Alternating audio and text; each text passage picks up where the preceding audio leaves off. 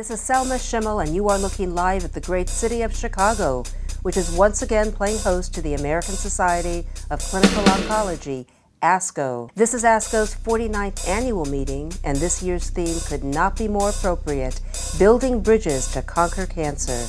More than 30,000 of the world's foremost cancer specialists are here, and so is the Group Room, making our 15th appearance at ASCO and one of our very best. Joining me now is Dr. Thomas Smith, Harry J. Duffey Family Professor of Palliative Medicine and Oncology at Johns Hopkins Medicine. Thank you. With the growing dialogue surrounding palliative care, what role do you see it playing in clinical practice today? So, just as your productions are growing, palliative care is growing too. We've gone from a handful of programs 20 years ago to now 80 to 90 percent of large hospitals have programs. And this can typically include a physician, nurse practitioner, or physician's associate, chaplain, pharmacist, psychologist, social worker, a mix of all those. It varies from what the hospital can support and what's available. But I think palliative care is one of those few parts of American medicine that seems to work pretty well in that when palliative care is involved with oncology patients, patients have better symptom management, less pain, less shortness of breath. They have better quality of life when we measure it formally. They have less anxiety and less depression. Their caregivers have less distress and less post traumatic stress disorder. We find out what people's choices are if it is an end of life situation, where they want to be. Usually it's at home, not in the ICU or in the hospital, and try to make a plan to honor those choices. We have a chance to monitor and reduce spiritual distress. It turns out that about 90% of cancer patients want us to, at least to know about their spiritual history and to help if we can. We have a chance to help people make a life review or a legacy, what it is that's important about them that they want to pass on to the next generation.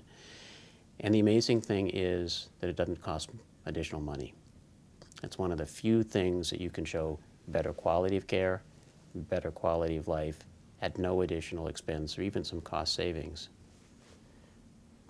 When you were saying that, I was thinking about the value in cancer care mm -hmm. in the sense of it actually reducing unnecessary costs. It reduces unnecessary cost, but it also reduces unnecessary suffering.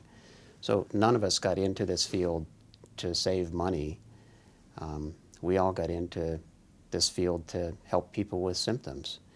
And our symptom charts from the time we first see people to 48 hours later or a, week later look exactly the same as MD Anderson's or Mount Sinai's in New York. All the symptoms start here, and when you have another team whose job it is to find out what those symptoms are and then fix them, all the symptoms go down. So pain, down. Depression, down. Anxiety, down. Every single symptom. It's about the value of, of life. It is. I would like people to live every day until they die from whatever they're going to die from and not be strangled with fear, strangled with anxiety, not be so dyspneic that they can't even address any of these issues. We can help with that. As a palliative care person, I have a different note, I have a different script. I say, well, if we're talking about third line chemotherapy for breast cancer that's grown to through two different types of chemotherapy. We'll hope for the best, and we should plan for some other medical circumstances too. Not but, but and. Um, do you have a will? Safe and easy question. And she's thinking, does this mean I'm going to die? And I would say, well, tell me more. Is it important for you to know that? What do you think? How long do you think that you would have to live? And again, that's not a two minute conversation. It's a terrible conversation to have with any person, any human being that you feel for. Um, It's really hard for a lot of oncologists because we don't get that sort of training in our. But it, in palliative care, we have a script or do you have a will? Do you have a living will or advance directive?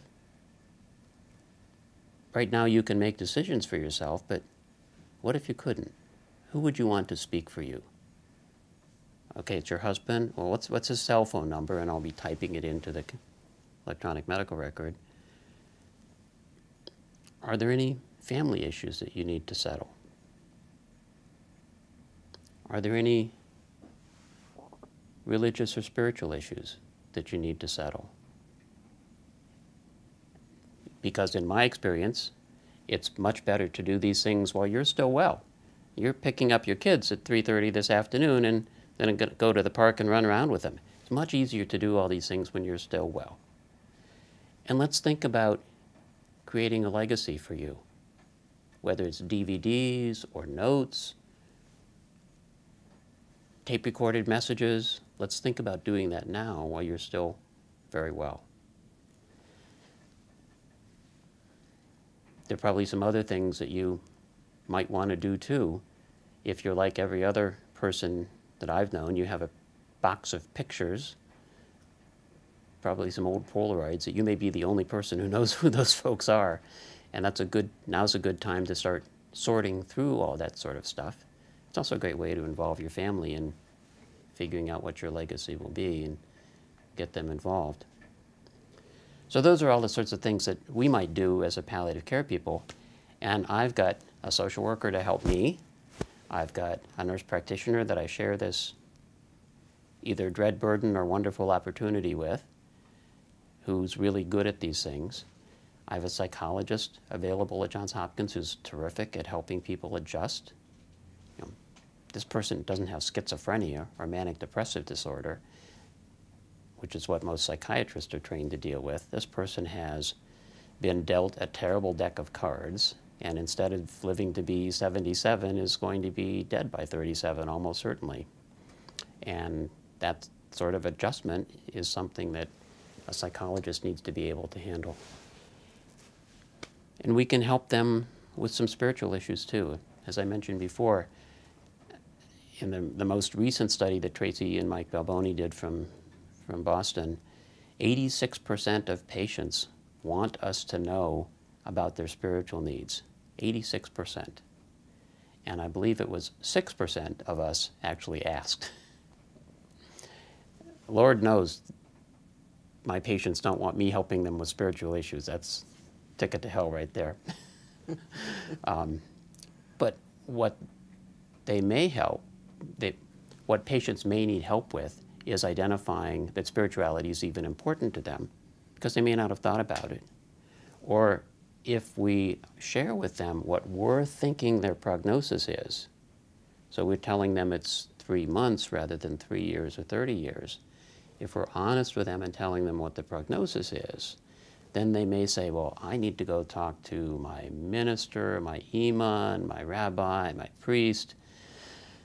I should start doing some of that now. To which I would say, absolutely.